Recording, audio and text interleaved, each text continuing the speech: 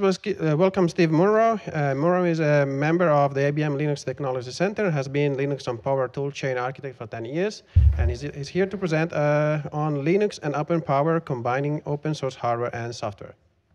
Okay.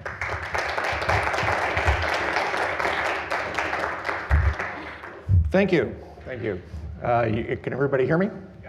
Okay. So um, I uh, have had a checkered career. I can't keep a job, although I've been with IBM most of my career uh, working on various systems. I actually, my first Linux job was porting PowerPC 64-bit to glibc. Got to work with Ulrich Drepper. That was fun. Um, so I've, I've been around quite a bit. I've been involved with power architecture probably for 20 years now. I was on the team that uh, ported the what was the System 38 and AS400 from its original internal IMPI processor to the Power PC 64. So, yeah, been around. Um, so I have a lot of knowledge about power, the power architecture, where it's been, where it's going. Um, and in my current role as toolchain architect, I stand sort of in the middle trying to translate between the, architects and the engineers building the processor and the chips and the users trying to compile their programs to do useful work. And hopefully I do a reasonable job of that. And you can form your own opinion after this presentation. Okay, so that's sort of the background of where I come from. Um, so what I want to cover, we'll talk a little bit about the power roadmap. Now, my charts tend to say power just because of where I live. Right now, that also means open power. So Power 8, Power 9 are all open power processors.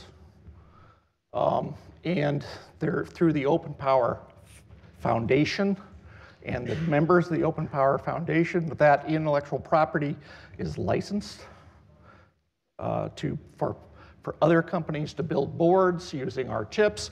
Uh, we also license the designs for people who want to build custom power chips. Okay, now these are all 64-bit. The 32-bit embedded guys are off in some other range. They're not part of the open power uh, environment. So we're, gonna, we're working on servers. Okay. We're working on Mack trucks, not Chevettes. Okay. So talk about power, what's, you know, the history of it, talk about the Power 8 currently available, what you can get, including some of the, some of the models that are actually third-party built and then relabeled for IBM sale for entry, entry scale-out processors. Uh, talk a little bit about Power 9. The exciting thing was a couple days ago, a couple week ago, at Hot Chips, they announced the Power 9 design. I talked about some of the, you know, it's got just the, the, the Mack truck is now 18 lanes wide instead of 16 or whatever, right? So have some of those details I can share with, uh, with you. Talk about the evolution. I, when I started uh, working on Linux, it was Power 4, Power ISA 2.01. Now we're at uh, Power ISA 3.0. We reset uh, the designation because we felt it was such a major step up from where we, you know, from the sequence we've been going through. Um, and that's publicly available. Power ISA 3.0 is the Power 9 instruction set architecture, and it is available on openpowerfoundation.org. Okay. I think, I think for that one, you may need to join Open Power Foundation. There, you know, you, either as a company or as an academic associate. Uh, so then I'll sort of bore down. I'm a geek, I can't help it. I live the instruction set architecture, I live ABIs, I live how the compiler has to deal with this, and what the language standards do to that. So I'm, I'll get down in the weeds. You can pull me back up if I get too deep. But that's, that's where I live on a daily basis. Uh, and then, you know, this, these architectures get pretty complicated. The current Power ISA 3.0 is almost 1,500 pages.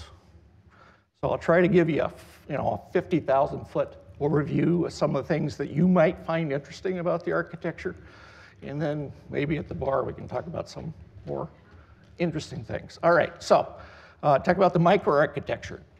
So the microarchitecture is what the engineers did to implement the ISA, all the choices they make.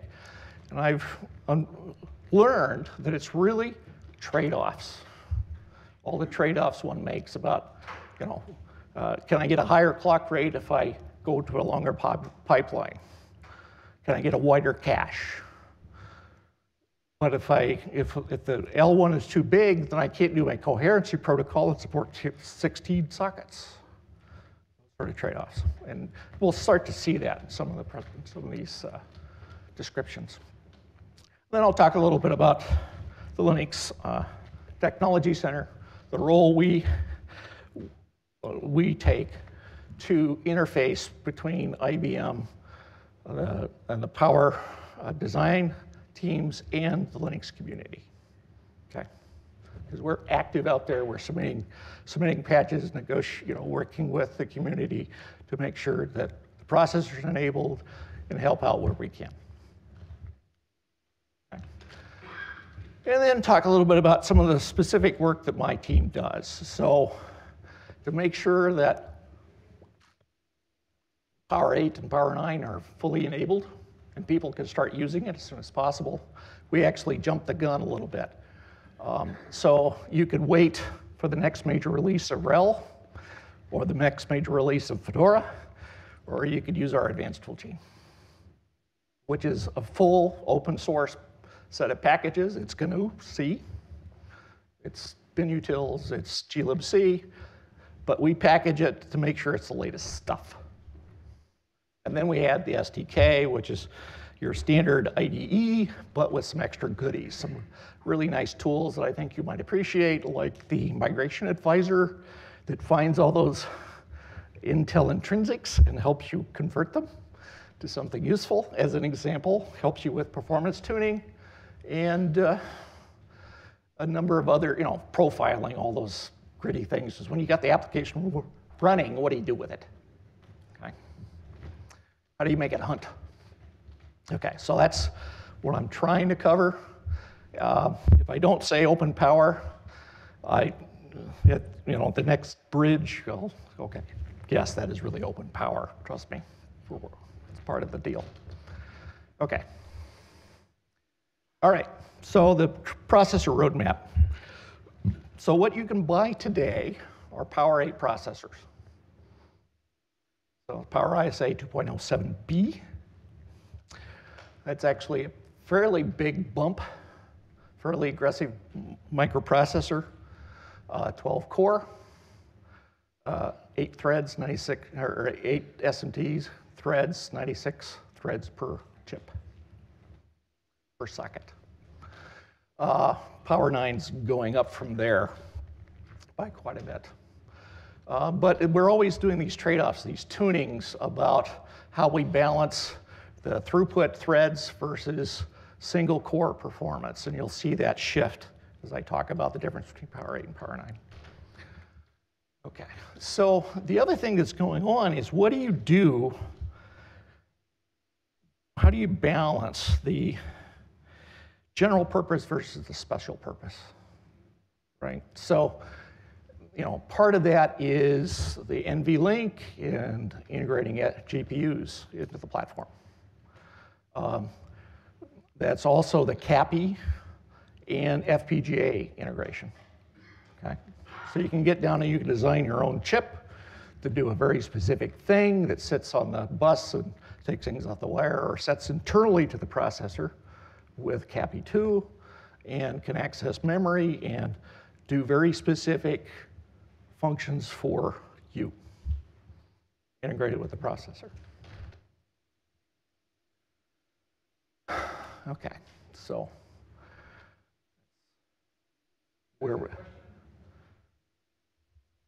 need to come up and ask there. Okay, my voice is not booming enough. I've been warned. Okay?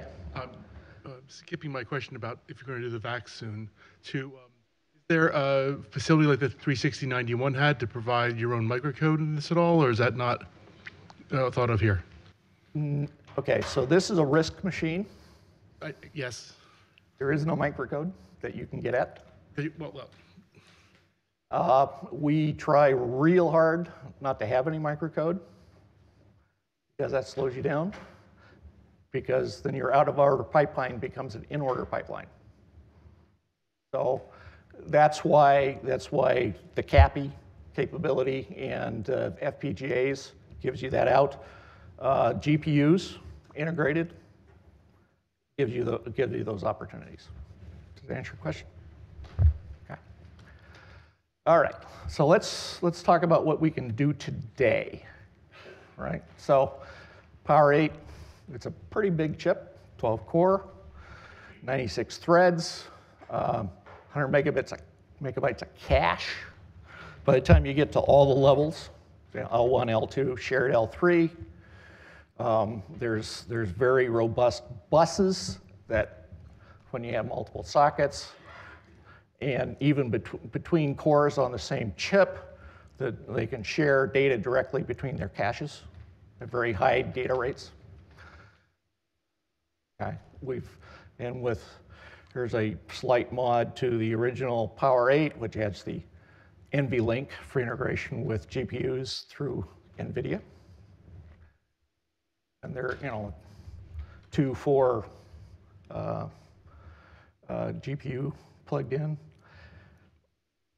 And this gets back to this notion of Mac truck. We build this thing for massive data bandwidth.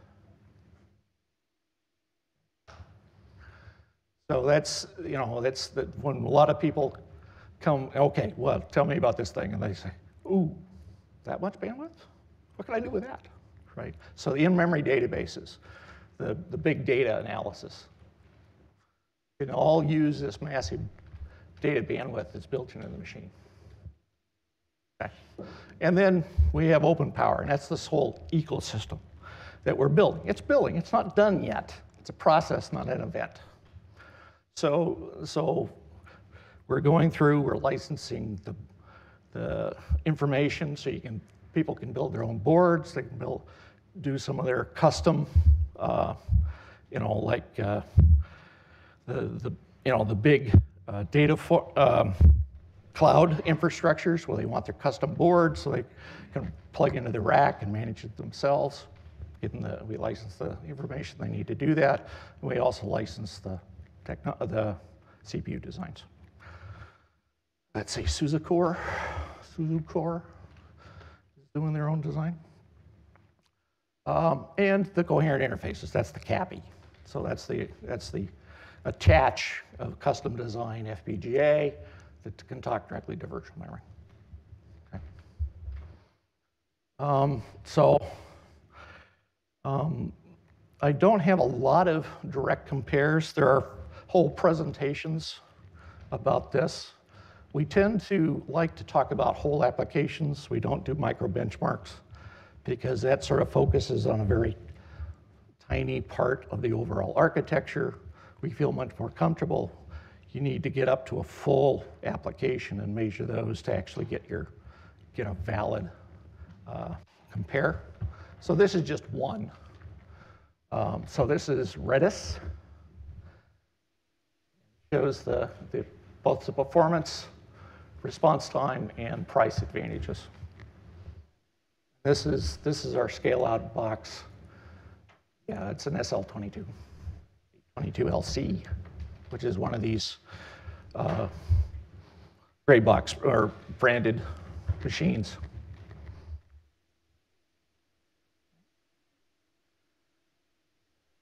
Here's the sort of the, the description of the big data and analytics capabilities of the machine. So we're claiming 4x the threads, that's the SMT8. Um, 4x bandwidth, memory bandwidth, because the QPX, as soon as you go, even with two, two core sockets, you're actually using all the bandwidth you've got. And by the time you get to four sockets, you're, you're going multi-hop and it slows you down. So with a power machine, we have a lot more bandwidth, 32 terabytes of memory. Actually, the address space was expanded to 64 terabytes because the database guys always want all of it. We have to make the user address space that big. Uh, six times the cache, you know, lots of massive data load. There's actually hardware built in that watches the program behavior and tries to do prefetch data streams, tries to identify data streams that are going, stepping through memory and automatically start prefetching them for you. Uh, sometimes that gets you away, you gotta turn it off. Most of the time, it's a, it's a good deal. Okay, let's talk about Power 9. Okay. So this is a new architecture both a mi new microarchitecture and a new processor technology. Ooh. Not sure how that happened. Uh, that didn't translate well. Um, but basically, they'll be uh, talking, you know, more memory bandwidth, larger, larger hard uh, uh address spaces, or larger real address spaces. Um, more cores. Uh, we're trying to rebalance the thread throughput versus the uh, single, sock, single, single thread performance, and you'll see that in another in the next presentation, next chart. Um, Eight billion transistors. What do you do with 8 billion transistors? Well, it seems like you add a lot more cores and you make wider pipelines, you make, you, uh, make them more symmetrical, and you use that to balance your workloads, support more workloads. Okay. So Power 8 was an SMT8 machine. SMT8 was pretty aggressive as it intended to be used for uh, you know, cloud environments where things are actually fairly, you know, peaking and, and low, you know, occasional peaks. Mostly things were leveled out so you could support up to eight threads per core. Um, with Power 9, we're trying to rebalance that a little bit. So we have SMT4 with 24 cores, so we have fuse cores where we can have 12 cores with SMT8. And that's sort of, again, balancing the workloads. You can have different machines for different workloads. Um, and then we dis distinguish between the scale out boxes and the scale up boxes, multi-socket optimized. So scale out boxes are your tools, two sockets. Scale out uses uh, direct memory attach. Scale up uses buffered memory. So again, this is this trade-off. Uh, direct memory attached gives you lower latency to memory. Buffered memory gives you more total bandwidth and better scaling. And sometimes you can't have it all, so you make it options.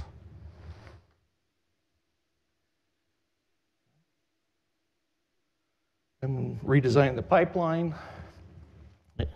Again, you try to make things more responsive, shorter pipeline, recovers better from hazards like cache misses, that sort of thing.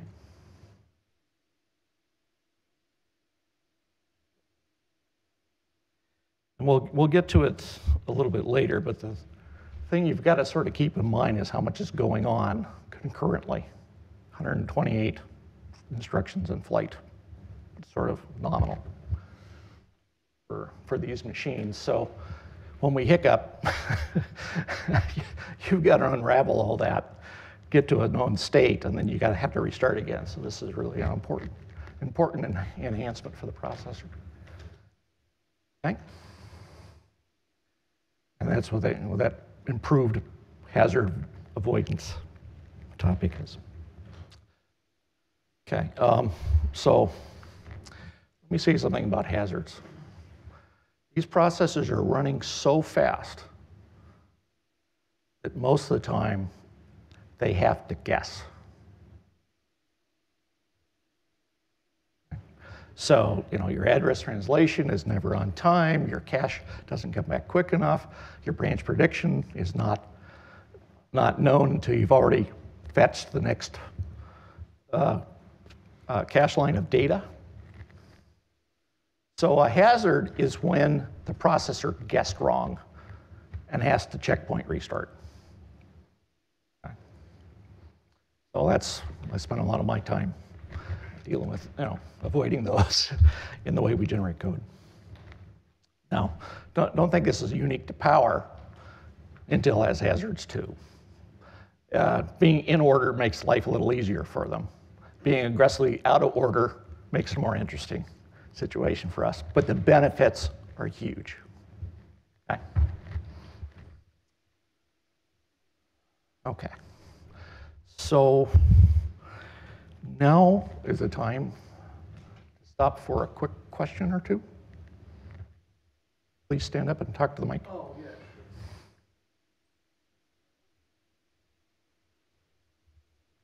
um, How often do these hazards occur?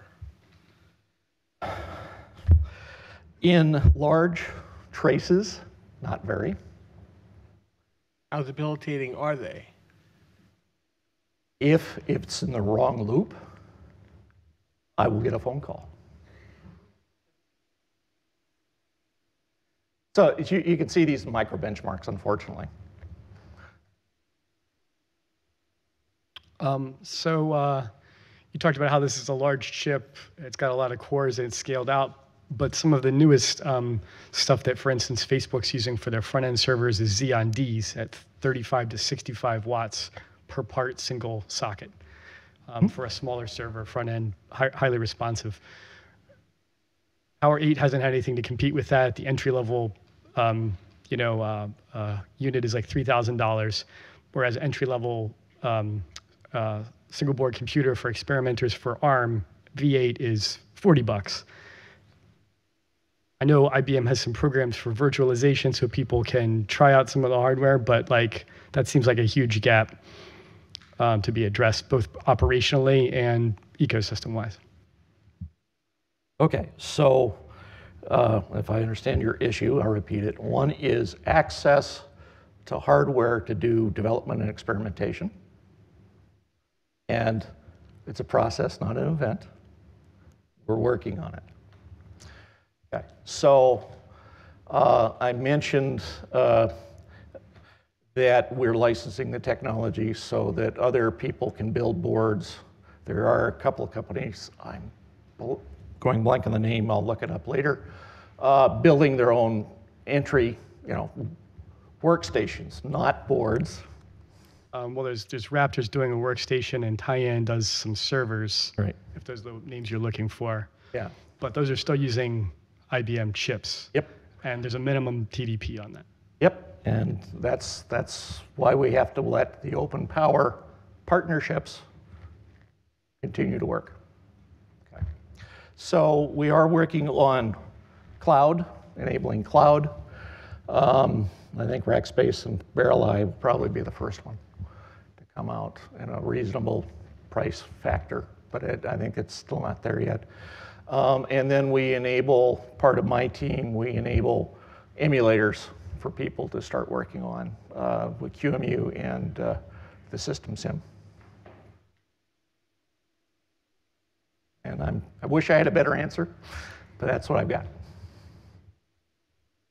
Do you get this performance from the GNU tool chain, or do you have to get uh, IBM's version of a C compiler to get this kind of performance? Okay, so the GNU tool chain for C and C++ is pretty competitive. The only one where, where there's a big gap between, for example, the XLC, com- XLF compiler and Fortran. Fortran, Fortran. is Fortran.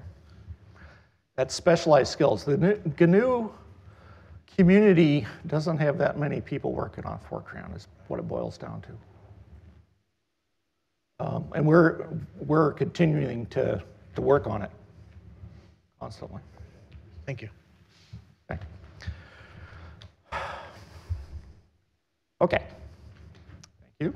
Let's move on. So now we go to the history lesson and we talk, we go down in the weeds real quick. So, I mentioned when I started, it was Power 4.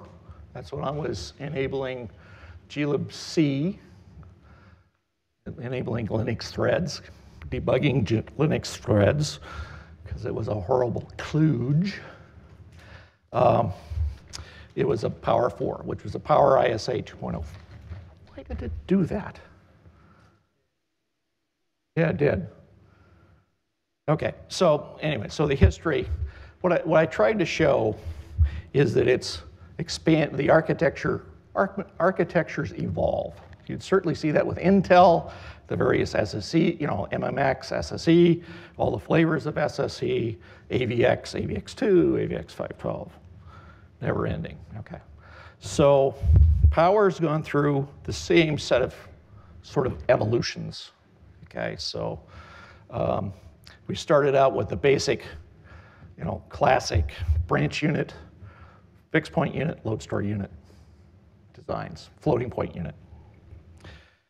Uh, added uh, the VMX, vector media, uh, media extensions, or AltiVec.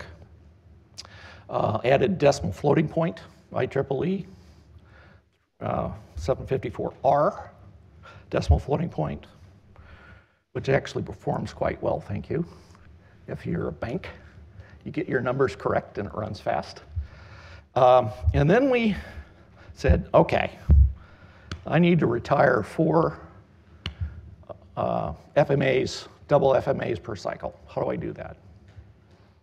So that involved the, the VSX vector scalar extended architecture, came with Power 7. So we needed more registers. It's hard to imagine, we already had 96, but we needed more registers, we needed more register space. So we basically said, let's butt the floating point and the vector, the, the VMX registers, 32 and 32 together, extend the floating point to be a full 128 bits. So VSX gave us 64 128-bit vector registers and added double float, plus a bunch of new integer ops and conversions and that sort of thing. Okay, so now we are in a position to, to really chunk through DGEMM. Retire, you know, four double vectors because uh, even though we don't have 256 byte vectors, we always are dual issue. It's this trade-off again. You can, you can make the architecture do it and say the registers are all these this wide, or you can say I've got a lot of registers and I'm going to go super scalar and I'm going to have a lot of pipelines that I can execute in parallel. We're on the second track. That was the point I was trying to make with the, with the uh, little chart that uh, went away.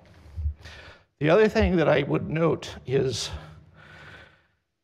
since I get to go to the power architecture review meetings, I get to, get to estimate how much it costs to enable the next version of binutils, uh, I know the counts.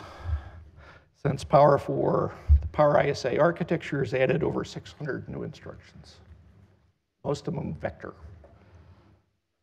Okay. So we're, part of that we were solving problems as the architecture and the applications evolved. Part of it was we were filling in gaps. And we'll talk about some of those uh, details in, uh, later in the presentation. Because we, you know, you, you, deal with things like you need crypto instructions and you, you need uh, polynomial multiply instructions for, for uh, checksums and those sort of things.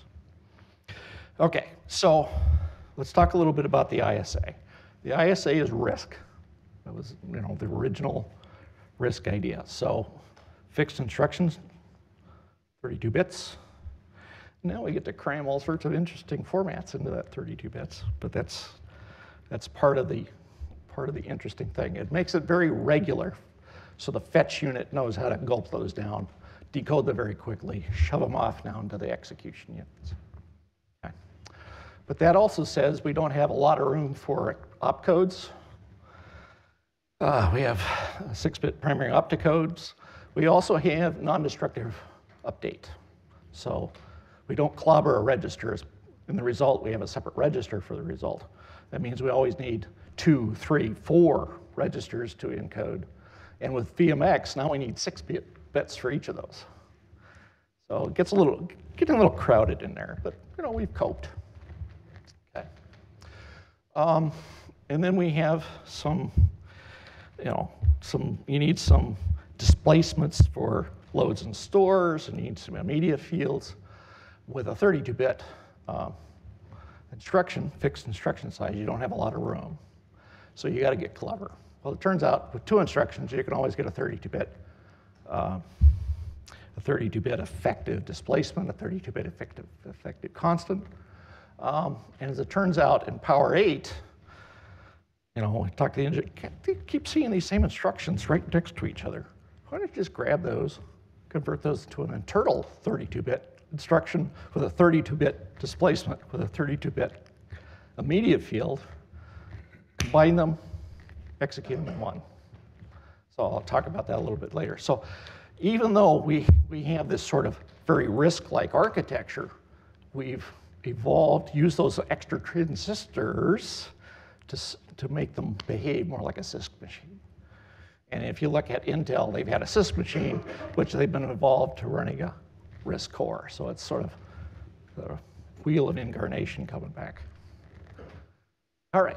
Um, so we have branches, loads, and stores uh, with the usual uh, base plus displacement, index forms, two registers added together, and update forms.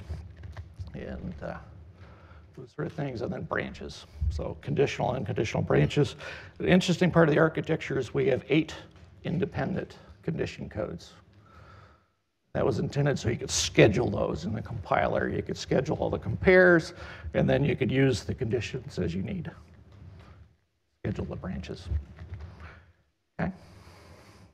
And then in P9, we get a PC relative instruction, which will be handy for uh,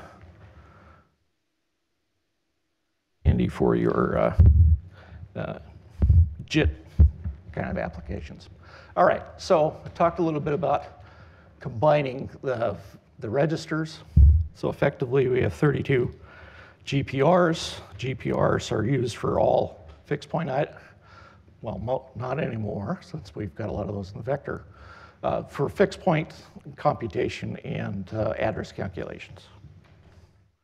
Then we have the floating point registers, we have the vector registers, and we have the combined vector scalar registers, which give us either 64 scalars or 64 vectors is needed. You just got to know that they overlay each other. So if you clobber a floating point register, you got to know you clobbered the corresponding vector register. And the compiler has to keep track of all that. But that gives us a lot of state. It gives us a lot of ability to unroll loops, gives us a lot of ability to, uh, to schedule dependent ops so that they flow better, that sort of thing. Um, and yes, and gives us all sorts of types. And with Power 8, we've added, uh, we actually have an add, 128-bit add for int 128, as well as the usual suspects of, of you know, bytes, half words, words, double words, and full integers. Okay. Now it is a true load store architecture. You can't do an add from memory. You have to load the two pieces and then uh, and then do the add in a between registers, and then you can store them back. But that's seen as an opportunity to allow the compute the compiler to do its job of scheduling, of commenting up results and intermediate values, uh, so we can avoid can further increase our bandwidth. Uh, and then we have some special registers, like I mentioned, the condition code, uh, the link register, uh, the count register used for special purposes. Um, for you know, call and return, and the count register is a loop count. You can, you can branch until the count goes to zero, or you could use that for another branch register and, and all the, uh, all the indirect branches go through the count register. Your, your dynamic calls, et cetera. Um, now, over time, as we add more facilities, we, tend, we end up adding a lot more special purpose registers to deal with things like um, event-based branch. What if I could have an interrupt off the PM, off the performance monitor unit right into my application? Okay, another set of special purpose registers are needed to, to allow that, to, to give the address of your handler, to give the return address so you can return from your handler and re start re-executing your program. So, so we end up with a kind of a deep book of special purpose registers.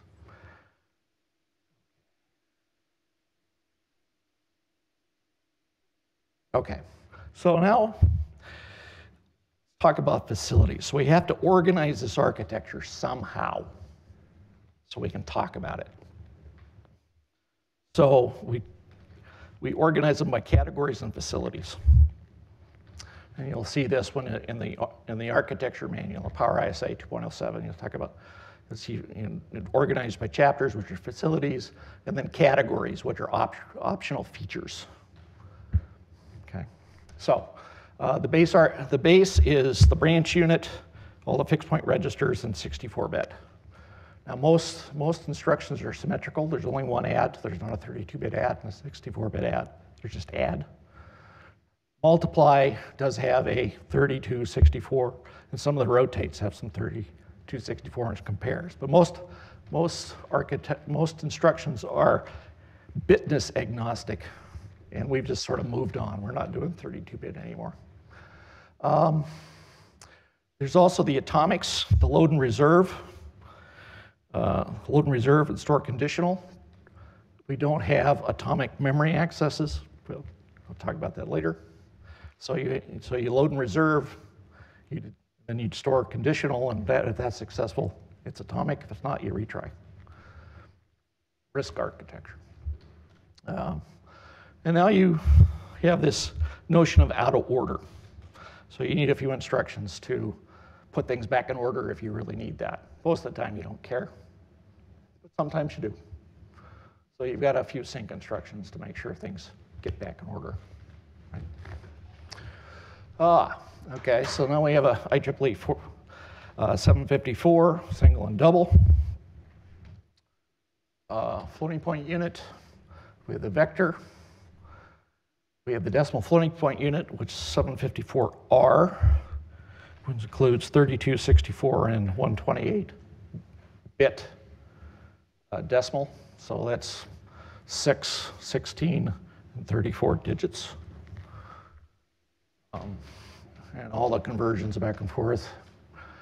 And new with Power 7 was the vector scalar facility, added the 64, and then simultaneous multi-threading.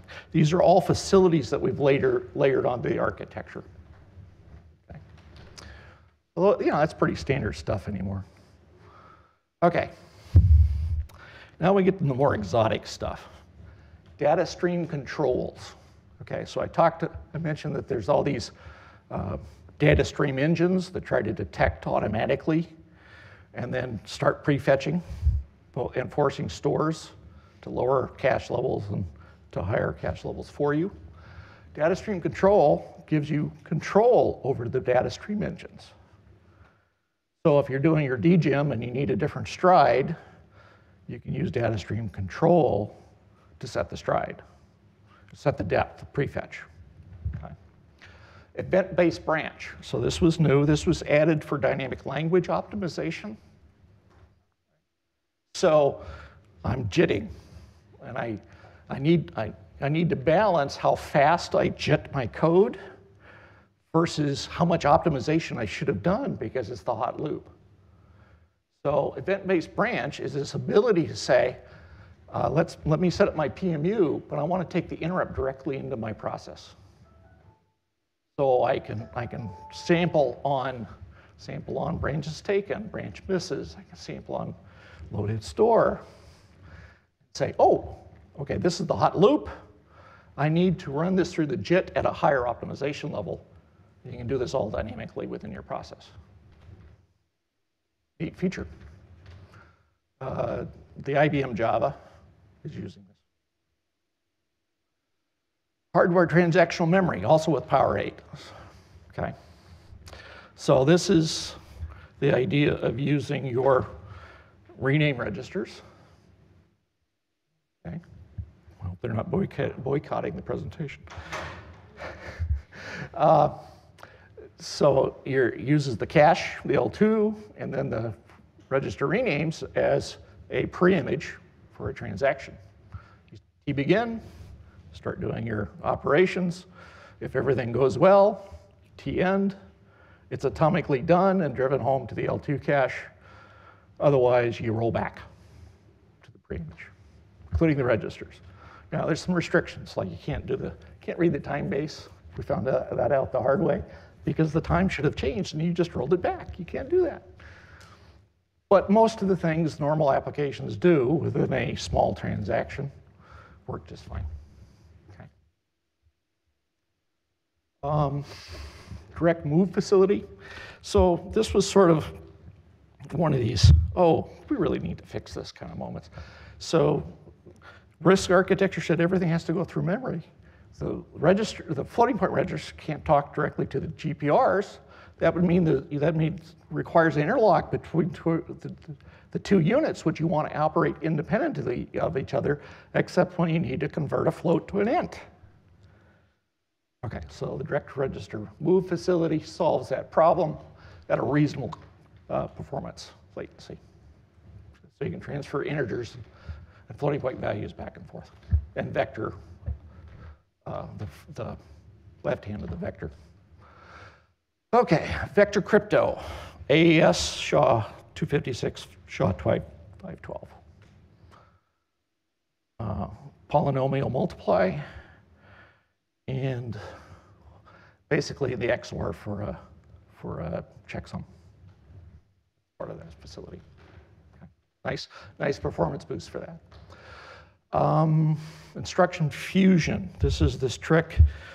Um, the, the, most common ones I have add immediate shifted, 30, 30, 16 bits shifted left 16. That gives me the top part of a 32 bit. Add immediate or a or displacement 16 bits. Now I have 32 bits. This combines them internally into a single cycle op. So this starts with power 8, will be enhanced for power 9. Atomic memory operations. Okay, so this is new with power 9. So this is the AMO facility. So this is the, where some subset of operations can be done out of the memory controller. So I can fire and forget atomically add an increment a number out there. Move on. No lark sticks, it's just atomic. Now, because it's out there, it's in the L4 level, it's at the memory controller, you don't want to wait for the result. But, but if you're just doing counters and those things, it's a very nice facility. Okay, uh, copy paste facility. So I mentioned about the, the CAPI. How do you talk to an independent processing unit from your program.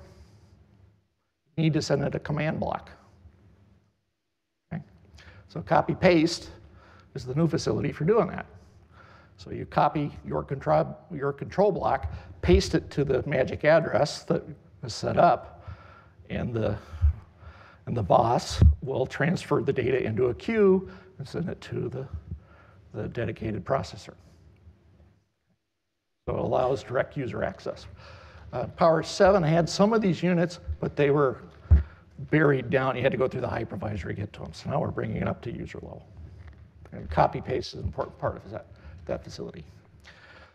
Additional vector optim optimizations are coming in Power 9. Uh, IEEE Float 128. Show of hands, anybody care? I care. I care because Boost keeps using long double and I don't like the performance of what I've got now. I'm going to fix that. Also, in a lot of the double, uh, the, you know, the math functions, they often, there's a part of the range of the inputs where you need extended precision. It's to fix that. So solve that. Um, okay. Talk a little bit about microarchitecture. Superscalar, register-rich, out-of-order, order, weakly consistent memory model. Superscalar, we always have at least, you know, the original architecture talked about three, branch unit, load store unit, fixed point unit, float unit. Um, now we're 16, 19, depending on how you count and which processor. So it's superscalar. We expect to have instructions execute in parallel with each other, and the compiler has to sort of be aware of that, try to, try to take advantage of that. It's not so unusual anymore. 10 years ago, that was more unusual. But now it's really aggressive. So multiple independent pipeline units, obviously the branch, load, store, and fixed point units are, are independent units, floating point units, vector integer units, vector crypto units.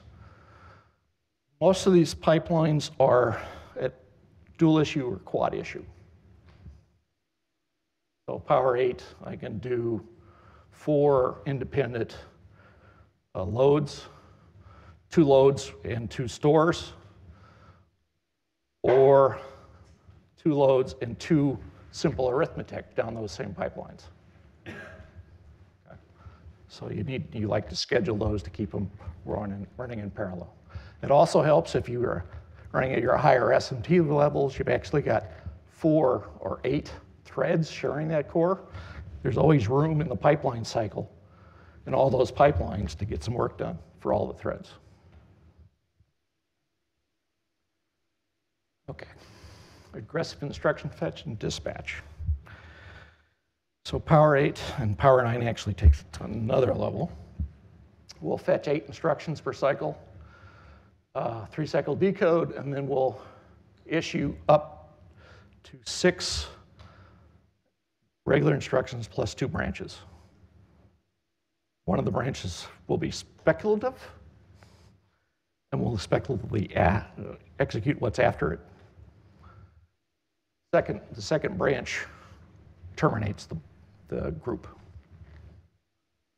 So compiler's always worrying about dispatch groups. Um, Power 9 goes to three instructions. The third branch, it will speculatively execute two branches, and the third branch terminates the group. So that's a lot of instructions flowing at a very high rate. Um, now, at higher SMT rates, these things start to get split, right? So instead of dispatching six and two, they dispatch three and, and one if we're at SMT four or eight. But all again, a lot of facilities being used, you know, trying to use the pipelines as well as possible.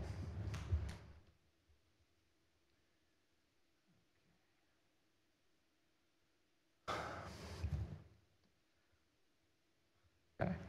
So instructions are issued out of order based on inputs ready and pipeline balance.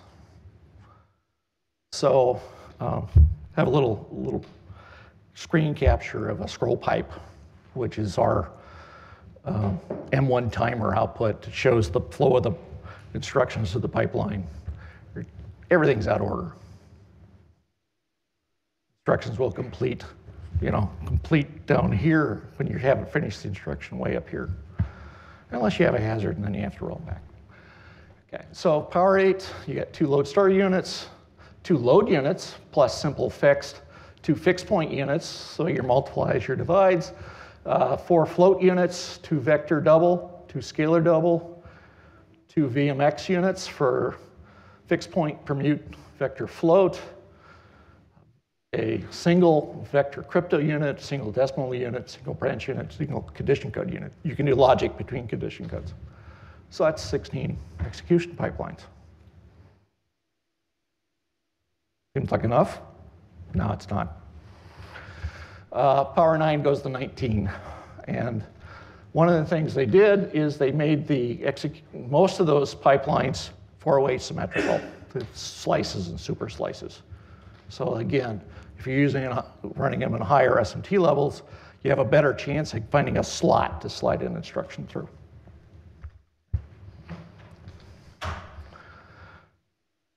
Okay.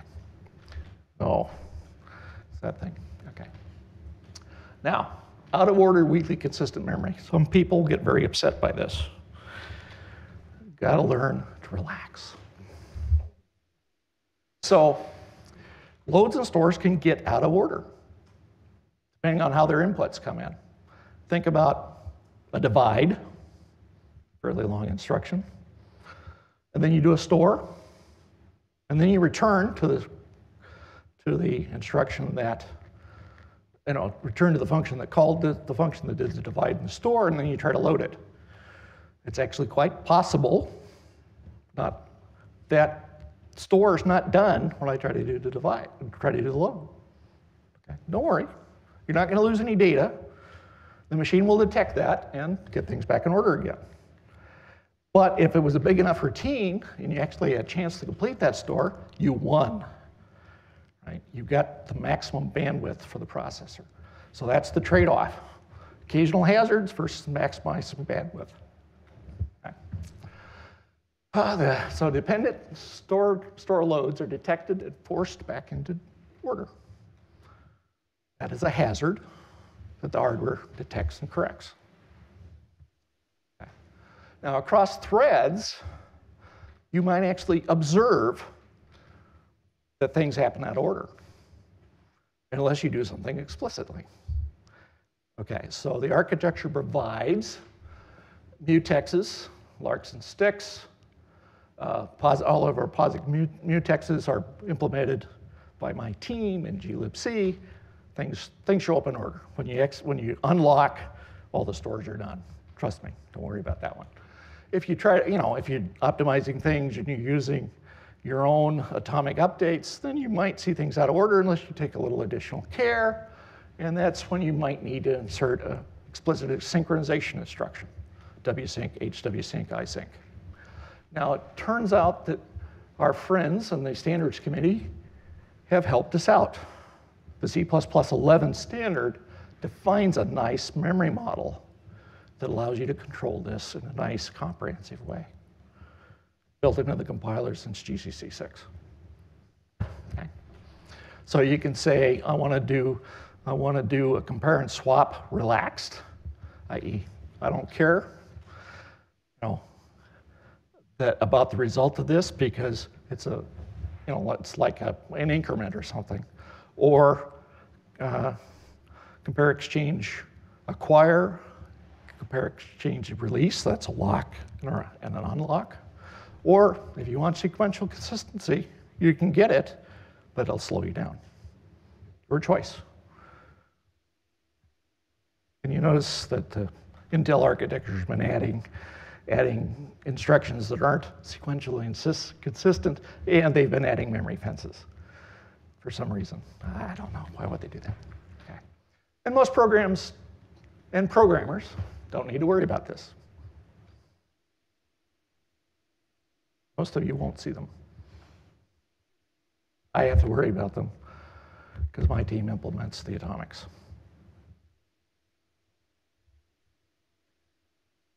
Okay. Now's an opportunity for questions. If I haven't bored you to death or put you to sleep. I told you I was a geek. Go ahead. One of the techniques in to load uh, data that is shared between threads is to start reading without taking any locks, and then having basically a canary at the end that tells you if the data was changed while you were reading, because they have to match the first and last, and if they change, you start reading again. Just because you don't you don't want to take locks and you don't care for repeat instruction. But if if things can get very out of order, then So the, things the- can go bad there. So this is the test, then lock technique. kind of yeah. Uh, that didn't work for SPARC, and it probably won't work for Power. Um, you would need to, you would want to insert an LW sync to get those back in order.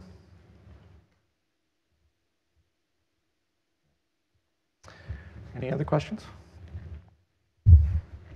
You said, uh, whoa, on mic. Uh, Power 9 has an atomic instruction right? They have, they have a atomic memory instruction. Okay. So, uh, separate from the Lark sticks, that facility's still there, which allows you to do a general purpose program. Larks load, load and, load and reserve, do something, store, conditional, if nothing's changed. But an AMO, an atomic memory operation, says, here's a value, here's an op, send it to the memory controller, and apply that op with this value. Do you, does that, would you put your, uh, is that the primitive for locking or would you still use the old commands? That's not a good primitive for locking. Okay. It's a good primitive for fire and forget atomic update. Mostly because it's happening down at the L4, many cycles away. So just because it's happening in the memory, what happened if then you try to re- to load that mm, location from the CPU doing some other operation? You, you've invalidated that cache line. Okay, but it is still atomic from the point of view of the CPU Yep. as well. Yeah, the, the, the, the memory nest will maintain coherency.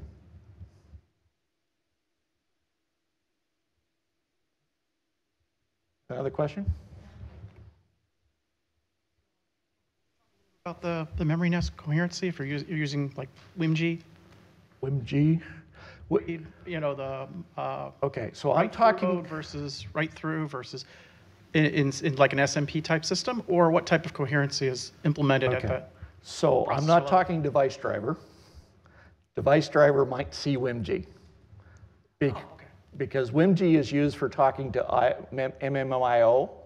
Yes, that's what, speci- that's specifically what I'm talking about. Okay, so for those, the, the kernel has a bunch of macros that you're supposed to use, and those macros apply the appropriate sinks. Okay? Because the, the, the case I was talking about, if your normal application program running with uh, cached memory, the full, you know, the memory nest takes care of all those details for you. Now, what he was talking about is you got a device driver, you're talking to MMIO memory, which isn't cached. It's not part of the cache coherency nest. So you're on your own, bud. You better, got to get it right. Yep.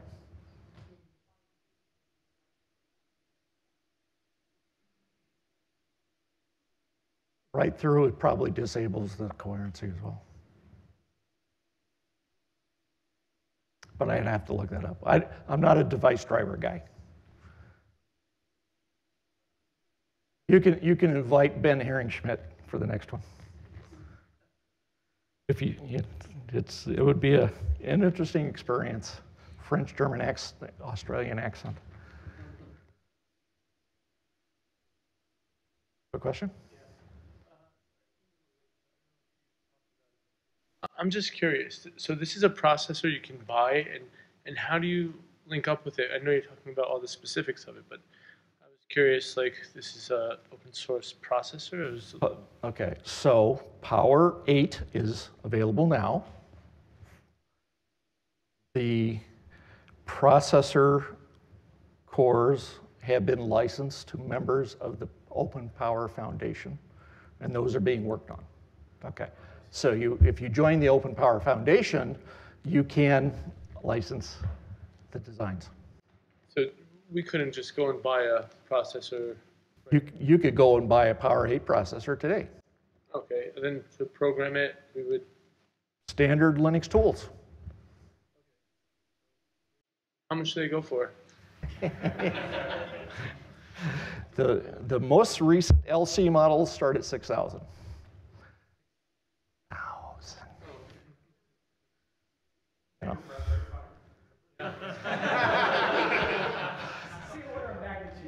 Yeah.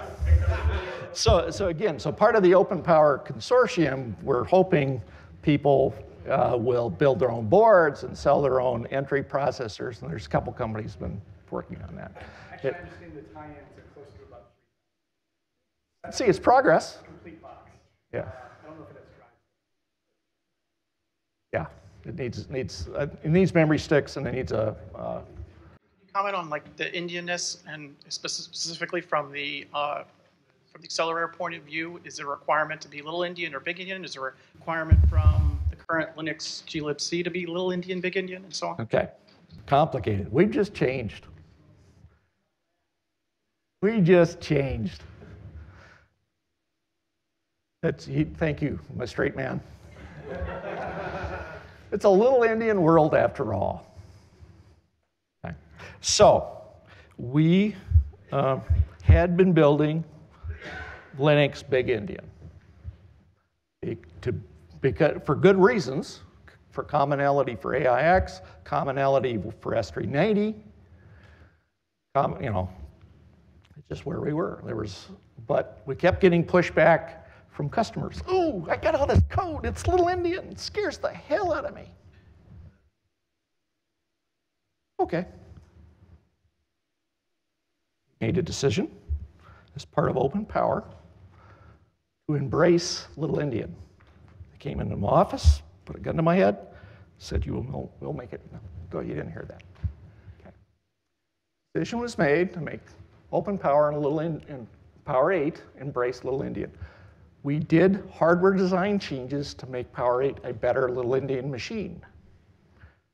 Okay, so most most of your loads, even the unaligned loads, will perform just as fast in Little Endian as they do in Big Endian. It's a hardware mode. Okay. Um, Power 7, I would not claim that. That's why Power 7 is not supported in Little Endian. Not supported. Okay. We had some early firmware leak out to help people get started, and it was a terrible time getting it back. But I think we've stamped them all out. Okay. Uh, optimize the Power 8 architecture I mentioned, align stores, and most unaligned load stores are in hardware. And then we had this sort of come to Jesus moment. That there had been the, the ABI, which we inherited from AIX, PowerPC 64-bit ABI, was sort of designed for C and Fortran, to be brutally honest. There were some rough spots that we've been fighting, you know, the minimal TOC thing, and, and uh, running out of TOC space, and all, the, all these other things. Uh, nobody liked the function descriptors because they were different, and several other places. So we took this opportunity, the team, the architecture team, the XLC team, the Linux team, said, we're going to fix this. Do the best we can to design a new ABI for Little Endian for the latest power processors. So we got together, we had horrible, long, boring meetings. We came to some decisions, fixed a bunch of stuff, including eliminating the function descriptors. And now it looks just like Intel. You got a pointer, it's a single double word, function pointer, call it, you're done. Um, but we also did some nice things. Okay? So you can pass up to eight GPRs and return up to eight GPRs from your function. You can pass up to 13 floating point or 13 vector values in registers and return up to 13 vectors from your function without touching memory. So this, this is an important performance enhancement for us. It's, uh, they have to be homogeneous aggregates, i.e. they all have to be the same size and shape, but that works. Uh, smaller stack frames. Uh, originally, part of we had a big hoof print because we had a dedicated uh, 8 times 64 bit uh, parameter save area. Most of the time, you didn't need it, so we got rid of it. Now the stack frames are smaller, recursion works a little bit better. Improved dynamic and local function calls, Improved the TOC relative addressing. This is, you know, we bet big time on Fusion. All TOC offsets are 32-bit. I know that takes two instructions, but that's okay. Half the time, the linker optimizes them away because he knows the final address. Compiler doesn't. And if, it, if I need both instructions, half the time, the hardware optimizes it for me. Seems like a good deal. Okay, so this is now the Power Architecture 64-bit ELF2 v2 ABI, aka the Power Open ABI. Now, we hadn't delivered the operating system yet. We were busy for a while. We designed a new ABI. We had to, to implement all the toolchain components for Little Endian and the new ABI. And we had to work with our distro partners, get them enabled. And they had to build how many ever packages it takes 3,500 more. Uh, Ubuntu Universe is 40,000. You know what the biggest problem was? Back level Linux tools. Or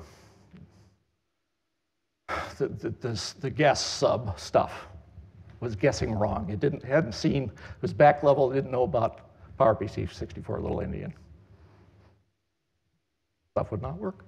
So as soon as we fixed those, we were okay. For the most part. So most things came across very easy. So Ubuntu 14.04 and later, Little Endian, SLES 12 and later, Little Endian. Red Hat got a jump on us with RHEL 7.0 was Big Endian. RHEL 7.1 has a Little Endian version.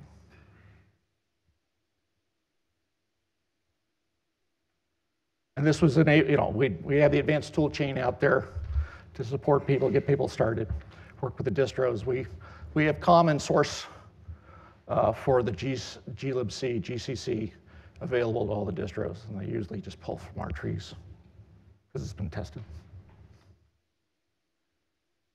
Your question?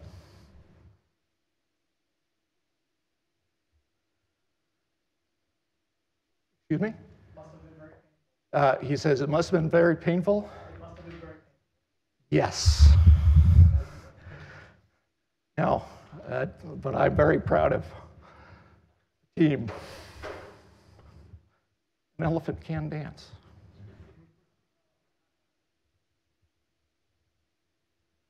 Okay, so any more questions? Did I bore you guys to death or you actually cared about this stuff? Doesn't run due. you know, I actually had somebody come to me a couple years ago, and the problem is they, they only, it required an archaic version of GCC that we didn't support. It wouldn't compile with the newer glibc GCC. I was bummed.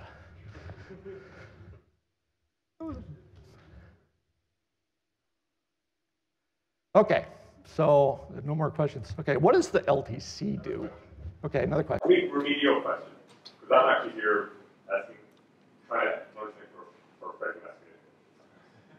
Would you come up to the speaker? Would you come up to the microphone, please? Because no, no, no.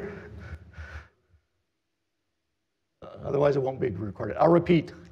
Anyway, um, uh, actually, you, know, you remember IBM AFS? AFS. Anyway, it doesn't matter. Um, the technology that I'm that with whom I work with does better with big endian. What I'm, I didn't really get from the whole thing is, are you saying that big endian is dead, or and that you're it's just linear, blue linear, or what? For blue I think that is a high level. Okay, so the question is big endian. Yeah. Big endian is dead when the last customer gives up on it. Now, the distros will make their own decisions. They are independent companies.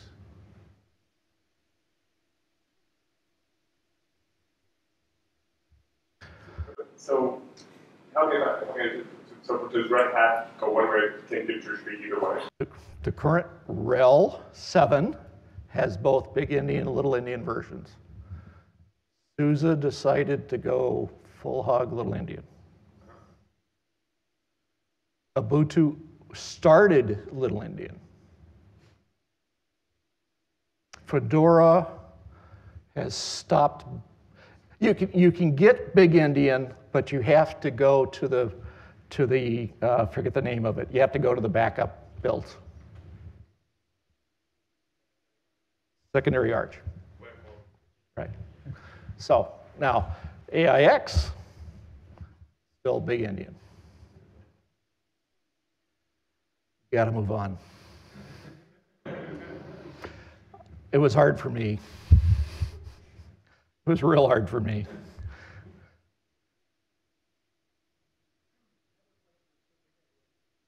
Yep. Oh yeah, there's there's lots of things where we got to twist twist things around just because it's the architecture that's coming in off the wire?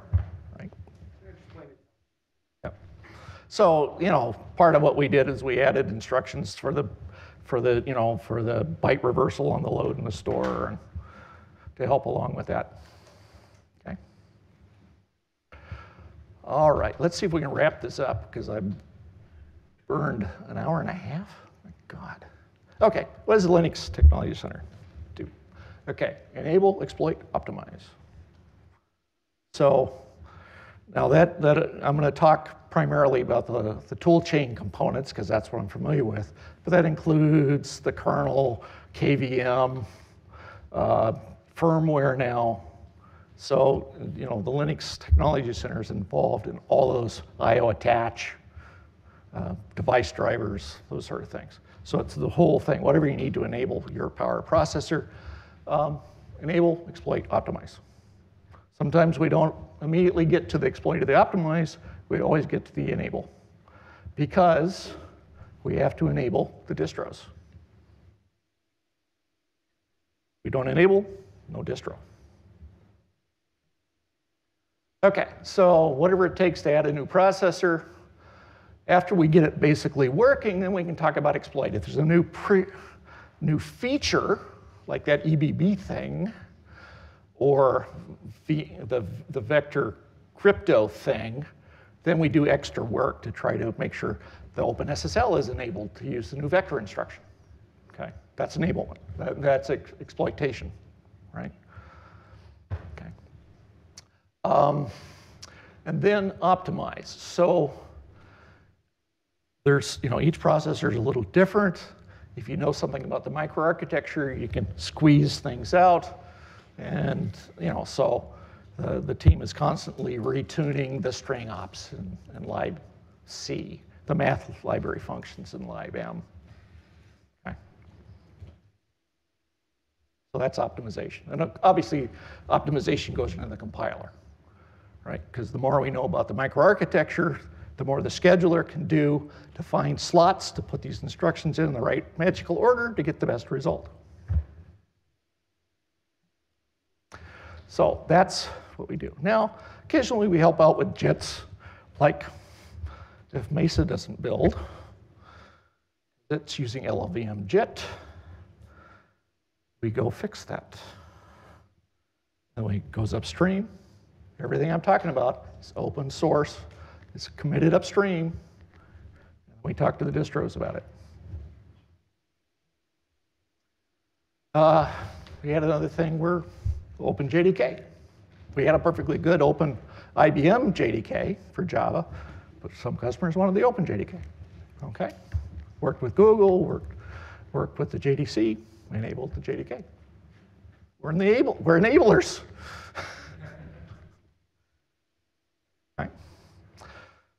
All right. Um, so sometimes we work, you know, do very specific things because, you know, we only we have the skills. We would gladly give you all the information you want so you can help us. I'm working on that. Try to be as open as possible. So there is a community. But, you know, if, if we need it now, it probably comes back to somebody in the LTC. Getting a little bit better because there's more, the wider IBMs getting, getting the right point helping out. Uh, we work with the Linux Enterprise distros, Red Hat SUSE. Ubuntu. We work, in order to feed them, we have to work with the, with the, uh, um, the feeders, Fedora, OpenSUSE, Debian. Um, we open features, we talk, we talk to them, we give them patches to work with, help them with backports, whatever it takes. Um, do special things. Sometimes we have to create a new API for unique features. We have a little, we have a, we open source a library called Path Power Architecture Facility, lib, which is your API to get at the event-based branch and the data cache control sort of feature facilities. Um, because you won't get, see those in a compiler. There's no, you know, the compiler's not going to know how to talk to an EBB handler. But there's an API for that. And in special cases where it's important to make things available, for example, to help people start development on a new processor, we provide the advanced tool chain. Ad, it's not advanced, it's advanced. But it's still standard GNU tool chain with the enablement for Power9. I wished I had hoped to announce it, but there's one bug. So Advanced Toolchain 10.0 will have all the base support plus some, some optimization, GCC 6.2 with Power9. Okay. And also this SDK, Software Development Kit, which has some, some standard IDE tools, works with standard Linux tools, like it, you can run Valgrind to do your, your you know, memcheck and those sort of analysis. Also, you, we've got some really nice analysis tools, the Migration Advisor, the Source Code Advisor, those sort of things. So talk a little bit more about that. Okay. So the Advanced Toolchain is the latest open source compilers enabled and optimized for the latest power. We usually have the latest patches. We always optimize for the processor at the highest optimization level.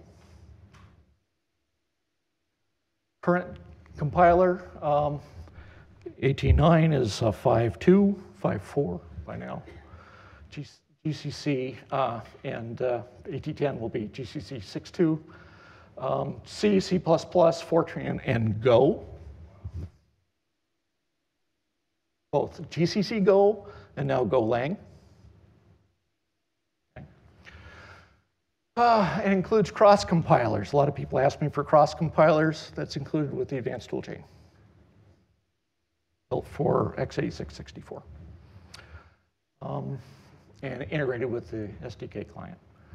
Optimized POSIX libraries, plus a few extras, zlib, OpenSSL, Boost, TC malloc, uh, because it, it it's a better malloc for C++ kind of codes. Um, and we've optimized that. The Intel TBB, a lot of customers asked for the TBB, the thread building blocks library. They open sourced it.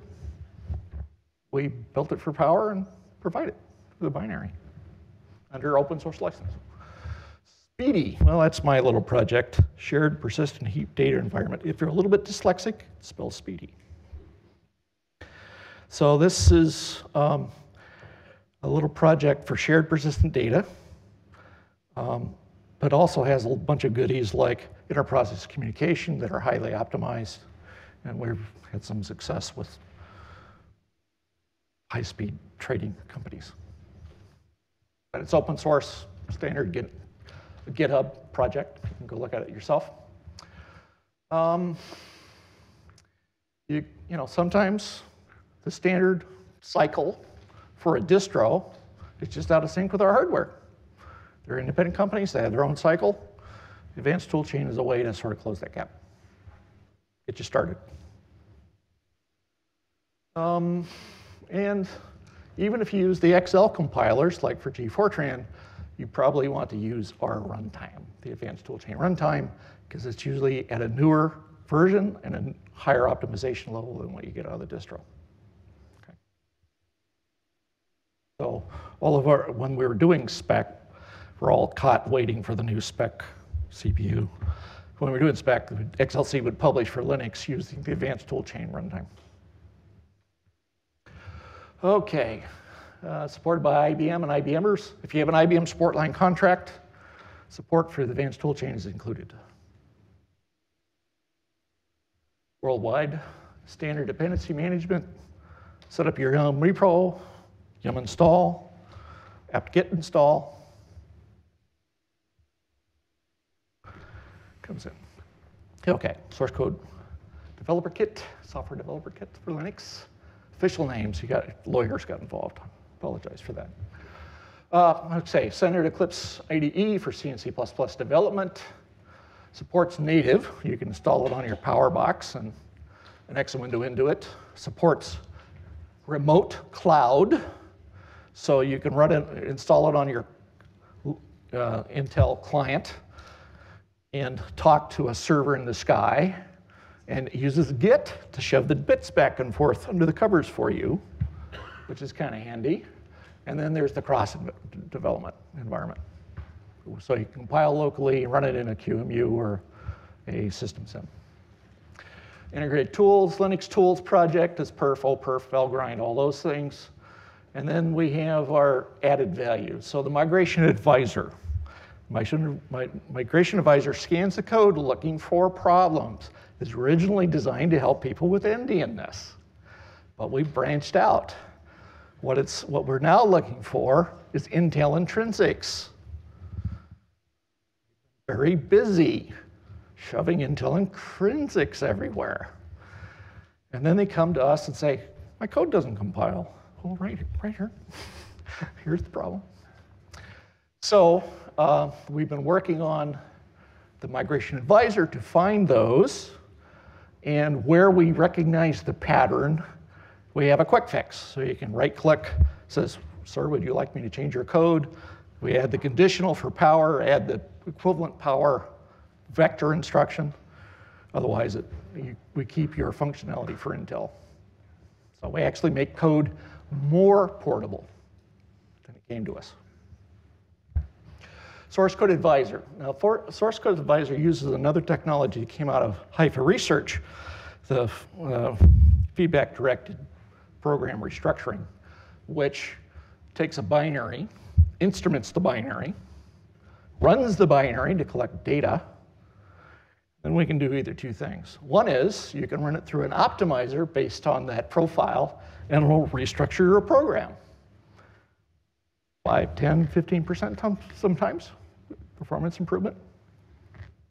Or you can feed that data back to the source code advisor and say, sir, you have a problem right here. You need to unroll this loop.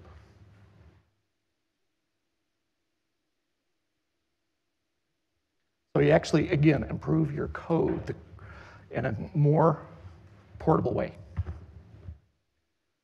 Uh, CPI, you know, drill downs and you know, profiling, all those things, supported tools, integrated with the advanced tool chain, integrated with FDPR, system sim, QEMU, functional simulator.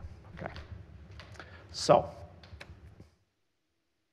I have bored you to death. But now I'm going to stop talking. You can ask more questions.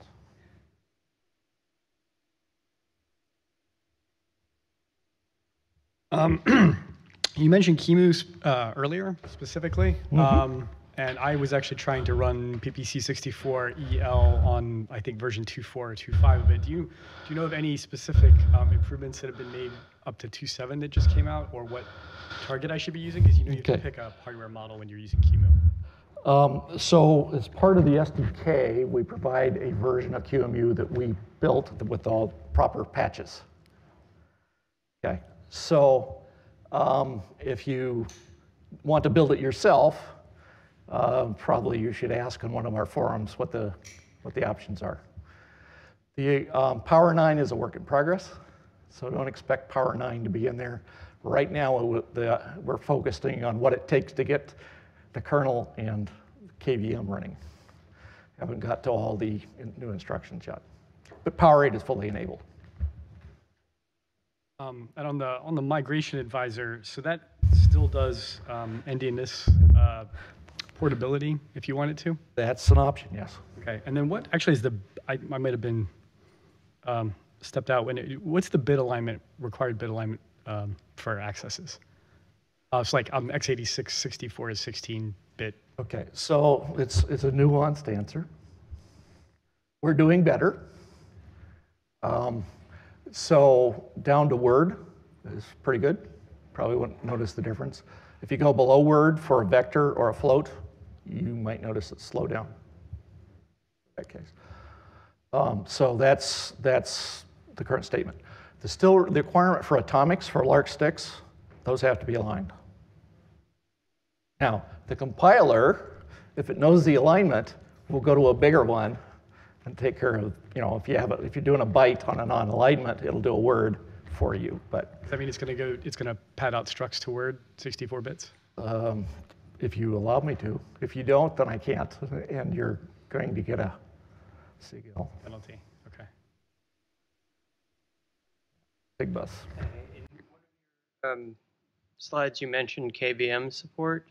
Yep. Is that the, um, I mean, can you talk a little bit about how well that it wor- is supported and if it's the preferred virtualization platform and how well the hardware, I mean, not that, yeah, the, how well this Okay. platform supports virtualization as a workload? So, so to get started, we actually have a product called Power KVM, version one, version two. Um, and that's available and bundled with a lot of the, the L series boxes. I have one in my basement. Um, the decision has been made to open source that. We will provide the technology, and then the, the vendors in the open source, open power consortium will then be responsible, and the, and the distros. So there will be Power KVM. We still have Power VM, and they're both for, you know, in their own space. Do you have a rough time frame for the Power KVM open source release? It's available in source now. Okay. And one question, in a v- VM, does the virtual machine have to match the endianness of, of all VMs, if you know what I mean? Uh, I've certainly been able to mix and match Okay. in my basement.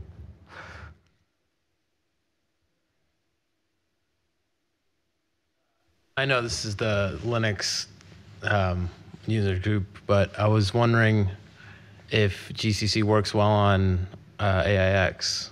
Um, so um, David Edelsohn, who is the um, who is the maintainer, keeps AIX alive for GCC.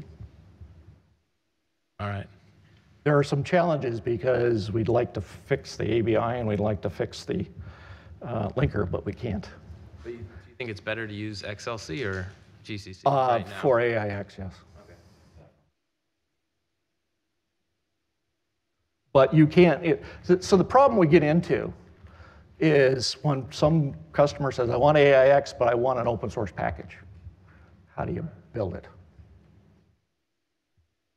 And usually there's some GNU specific extension that the package is dependent on, and XLC didn't handle it.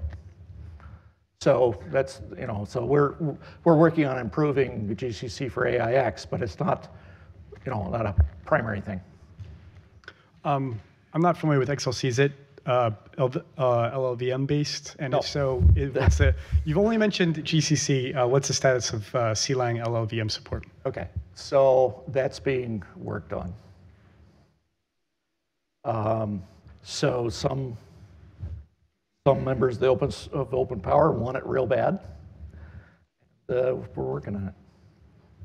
So I think we just released 3.9. Did that just come out? Um, so it's, it's work in progress. The, the reality is 99.9% of packages in distros built with GCC. So, um, you know, we end up with an embarrassment of compilers. We have too many, we have to support them all. But we do support, you know, the, the, support for LLVM and Clang are coming along. But we still got to do GCC, no choice. More questions? Is it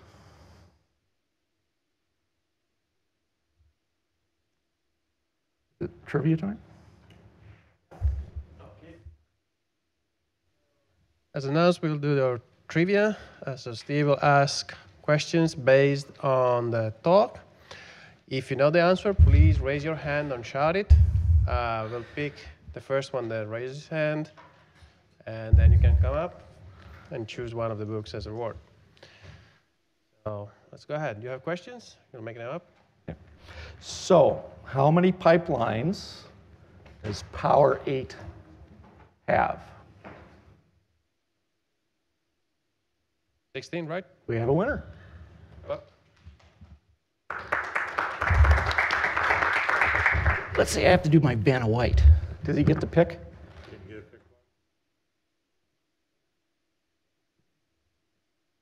Go. Okay. All right, so I gotta rack my brain. Okay. There'll be a bonus question later.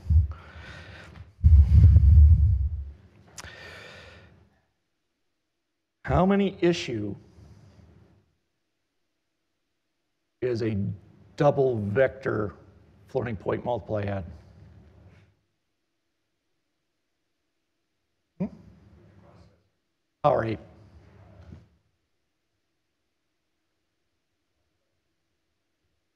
2 issue times 2 is 4. The winner.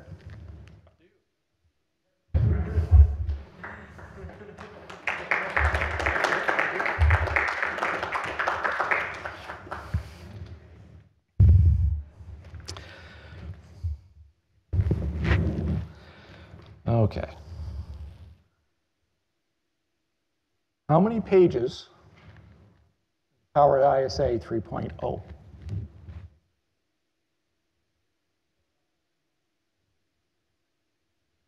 You had 19, do, do we, can we bid? Can I, do I hear 20? 1,500 is correct. 400, uh, 1,496.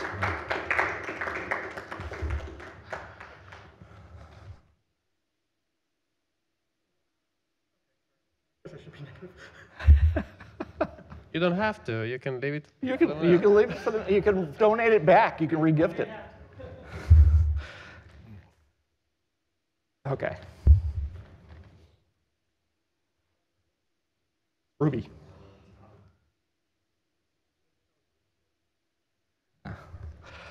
Okay, so.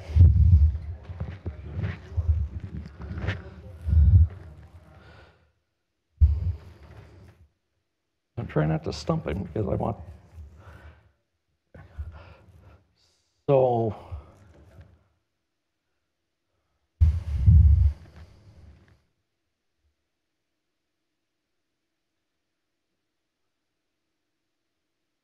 What crypto algorithms are supported by the Power 8 vector crypto facility?